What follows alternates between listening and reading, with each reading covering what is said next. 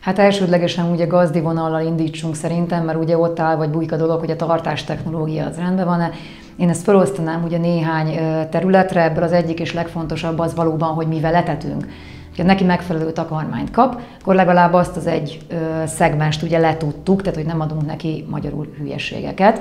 A másik az ugye a megfelelő tartóhely kialakítása, tehát ha abból indulunk ki, hogy a tengeri malac az legelő életmódot folytat a természetben, akkor rettenetesen fontos, hogy az ő alaptakarmányát, ami a szína, vagy a friss fű, azt ne egy színarácsba kínáljuk, amit ugye felemelünk a ketrec oldalára, vagy a tartóhely oldalára, mi mindenképpen le kell tenni, tehát tenni a ketrecnek az aljára.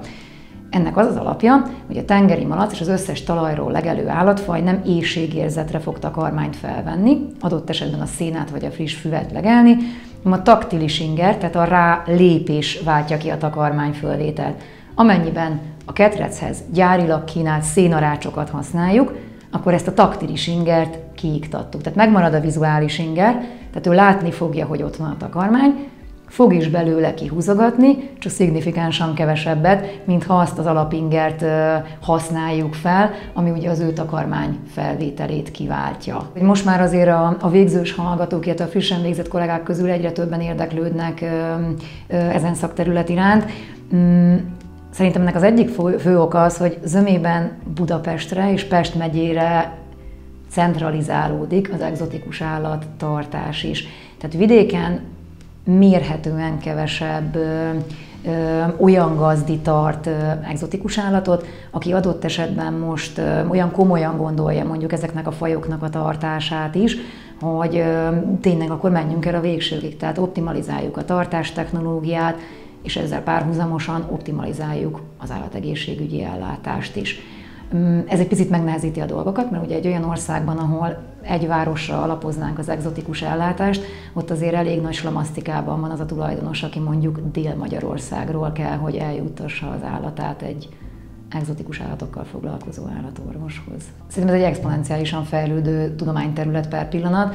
Azzal, ahogy a diagnosztikai terület fejlődött, azzal hihetetlen távlatok nyíltak meg ezeknél a fajoknál is Um, nyilván ugye kell az esetszám, tehát azzal, hogy a kutyát és a macskát az sokkal-sokkal régebben kezdtük el társállatként tartani, mint mondjuk egy tengeri malacot, vagy adott esetben egy cukormókust, azzal nyilván sokkal nagyobb szakmai anyagot is halmaztunk fel, magyarul több dologhoz lehet hozzányúlni, amikor információt szeretnénk nyerni, akár gazdiként, akár állatorvosként.